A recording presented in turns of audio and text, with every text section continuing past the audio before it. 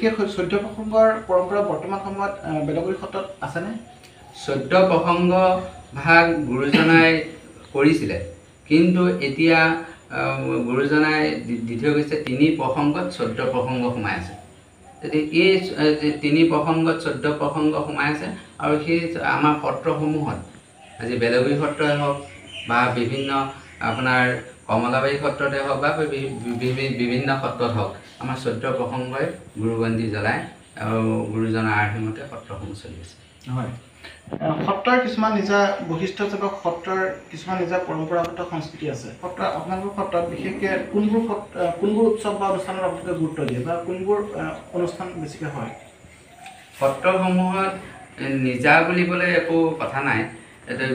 দুইজনা গুৰুৱে দি যি বস্তু দি থৈ গৈছে গুৰুজনা আৰ্হিমতে সকলো কৰ্ম হৈ আছে। ভাদৰ মাহত আমাৰ কীৰ্তনসমূহ হৈছে জন্মাষ্টমী হৈছে। আপোনাৰ ধৰক পালনাম আমাৰ প্ৰত্যেক বছৰে আমাৰ বেলগুৰি সত্ৰৰ গুৰুজনাৰ আৰ্হিমতে হৈছে। এনেকৈ ধৰণে যিখিনি গুৰুজনাই দি থৈ গৈছে সেই সেইখিনিয়ে আমাৰ সত্ৰসমূহত চলি আছে। যি ৰাগ হৈ আছে সত্ৰসমূহত এইটো প্ৰত্যেক সত্ৰতে হৈ আছে সেইটো চলি আছে তেনেকৈ সত্ৰত আহ, খুব কম সংখ্যক ভকত আছে। ইমান কম সংখ্যক ভকতক লৈ পেলাই আপোনাৰ সত্ৰখন পৰিচালনা কৰাৰ ক্ষেত্ৰত অসুবিধাৰ সৃষ্টি হয় নেকি কেতিয়াবা? আপোনাৰ সত্ৰত আমাৰ ধোৱাহাট বেলগুৰি সত্ৰত ভকতসকলে ৰজন জনাই আছিল। বহুত ভকত আছিল। কিন্তু বয়সৰ অনুপাতে ভকত ইজনৰ পিছত সিজন সিজনৰ পিছত সিজন ঢুকাই যোৱাৰ পাছত আজি আমাৰ ভকতৰ সংখ্যা কম হৈছে সেইটো সঁচা কথা।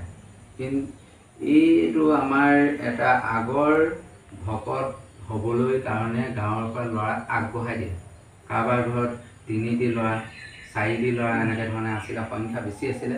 আৰু সেইমতে এটি ল'ৰা সত্ৰলৈ দিছোঁ বুলি আগবঢ়াই দিয়ে আৰু আমি সেইমতে গম পালে ল'ৰা আনো। আৰু সত্ৰত ল'ৰাই সুন্দৰ এটা পৰিৱেশত মানে ডাঙৰ দীঘল। হয়। পঢ়া শুনা হয় সত্ৰীয়া সাংস্কৃতিক গায়ন বায়ন সত্ৰীয়া নৃত্যৰ পৰা ধৰি লৈ গীতে মাতে ভাওনাই সকলোতে পৰিপূৰ্ণ হয়। কিন্তু আজি গাঁৱতো সীমিত হ'ল। আপোনাৰ ধৰক এটি বা দুটি ল'ৰা হয় আৰু সেইকাৰণে আমাৰো সত্ৰলৈ ল'ৰা ল'ৰা আগবঢ়াই দিয়া পৰিমাণটো কম হৈছে। সেইটো কাৰণে আমি অলপমান আমাৰ উদাসীন সত্ৰসমূহ অসুবিধা পাইছোঁ। পূজা পাতলটো শংকৰদেৱ গুৰুজনে এ, এক দেও এক সেও এক বিনে নাই দেও। শংকৰদেৱ গুৰুজনে একখন নাম ধৰ্ম বস্তুহে আনিছে সত্ৰসমূহত পূজা পাতল একেবাৰে নচলে আৰু সত্ৰসমূহত নাম বস্তু চলে। চৈধ্য প্ৰসংগ হয় গুৰুবন্দী জ্বলাই চৈধ্য প্ৰসংগ দৈনন্দিন গুৰুজনৰ আৰ্হিমতে চলি আছে। আৰু পূজা পাতলৰ সম্পৰ্কত মই বিশেষ একো নকওঁ। সত্ৰসমূহৰ পূজা পাতলৰ পৰা বহুত আঁতৰ। হয়।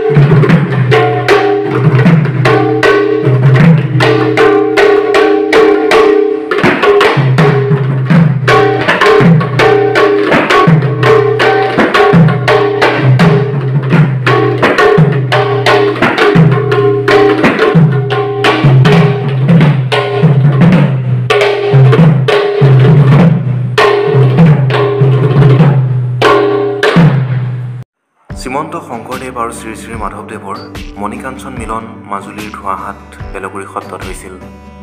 কিন্তু মহাবাহু ব্ৰহ্মপুত্ৰৰ গৰাখহনীয়াই সত্ৰখন খহাই নিয়াত ভক্তসকলে নাৰায়ণপুৰৰ মাকুৱাৰীলৈ সত্ৰখন স্থানান্তৰিত কৰে।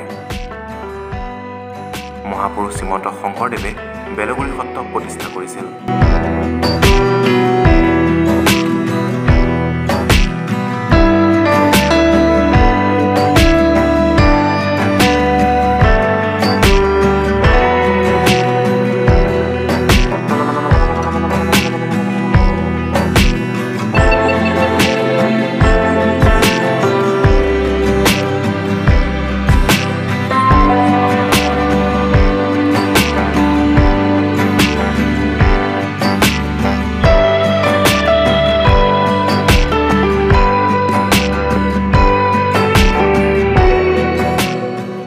বেলগুৰি সত্ৰৰ ভিতৰভাগৰ দৃশ্য আপোনালোকে দেখিবলৈ পাইছে।